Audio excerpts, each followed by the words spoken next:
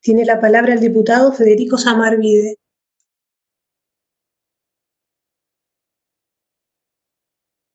Buenas tardes, gracias presidente, ¿me escuchan bien? Bien, eh, en primer lugar voy a tratar de ser muy concreto. El presidente de esta comisión junto con el diputado Gustavo Mena de Chubut presentaron un proyecto al cual muchos de nosotros, de miembros de esta comisión, han adherido, declarando la emergencia en, del sector turístico, pero además de la declaración de emergencia propone instrumentos fiscales y crediticios para la actividad que, como bien sabemos, está en una situación de extrema gravedad. Así que sería bueno conocer la posición del ministro frente a este tema y solicitarles que lo podamos tratar próximamente en la comisión. Hay mucha expectativa del sector con este proyecto.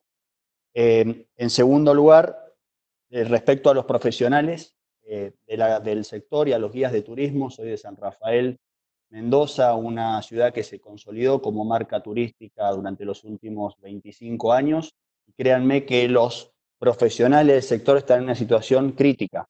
Entonces, más allá de que algunos, hablo de los profesionales que no están en relación de dependencia y que son monotributistas porque no trabajan con un solo prestador, este, y si bien algunos han podido acceder al IFE, en general ha habido muchos problemas en la aplicación y es un reclamo que creo que la mayoría de acá está recibiendo.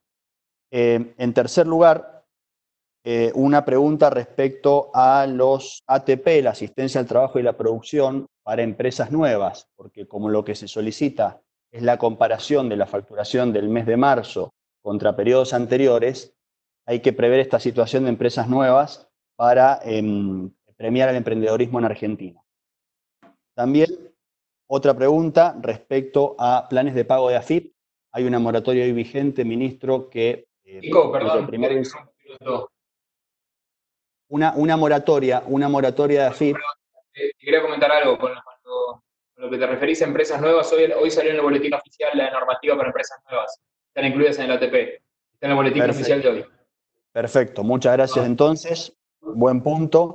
Em, la moratoria de AFIP tiene el primer vencimiento en julio em, y lo que solicitamos es que específicamente para el sector turístico, lo hemos solicitado en general, pero como este, este sector es el que más sufre la gravedad de la situación, que la falta de pago de una cuota no sea causal de la caída del plan de pagos.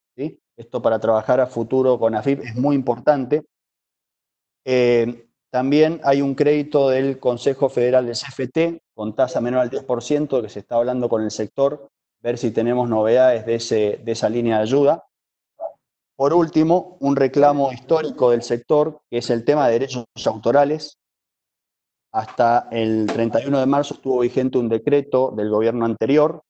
Hoy los cinco derechos autorales en Argentina representan lo mismo que paga un hotel en materia de ingresos brutos. Y esto lo paga, por ejemplo, un cabañero que tiene eh, dos cabañas por tener un televisor en la habitación.